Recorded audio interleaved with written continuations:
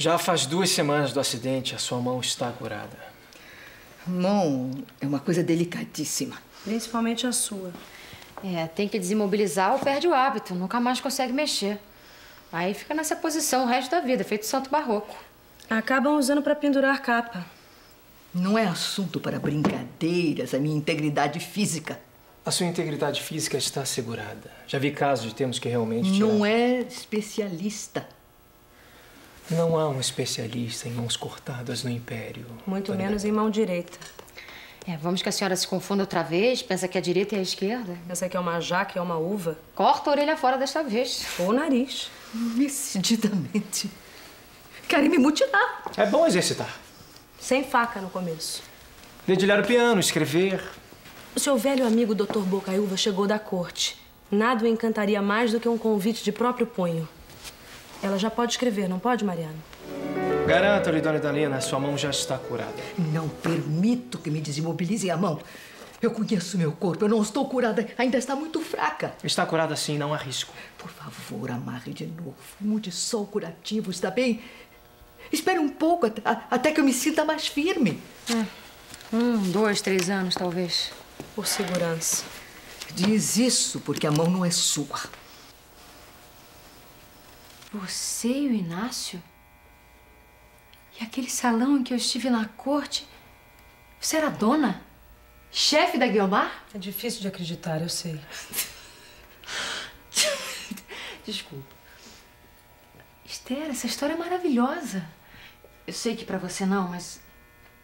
Se casou com o Sobral sem saber que o filho... Foi tudo armado. Eu recebi uma carta falsa e acreditei que o Inácio tinha me abandonado. Ele acha que foi a avó. Eu não tenho tanta certeza assim.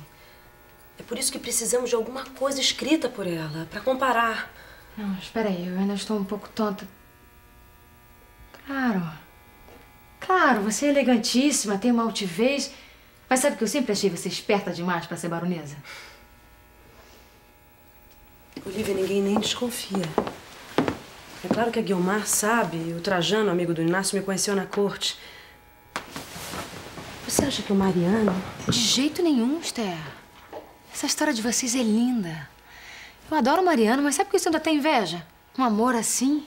Agora, entender isso, você de dona de salão até baronesa, apaixonada pelo filho, isso é pra contar pra pouca gente mesmo, viu? Modéstia à parte escolheu bem. Qualquer dia eu lhe conto a minha vida. Aí você vai ver por que é que eu entendo. Eu acho que eu posso ajudar vocês, sim. Nós vamos desmascarar a trama toda da megera. Vocês vão ser felizes. Vamos descobrir algum estratagema, porque está claro que ela enfaixou a mão de novo para ter uma desculpa e não precisar escrever. Leva a lua branca, meu olhar de amor, até a luz do olhar do meu segredo, que me apareceu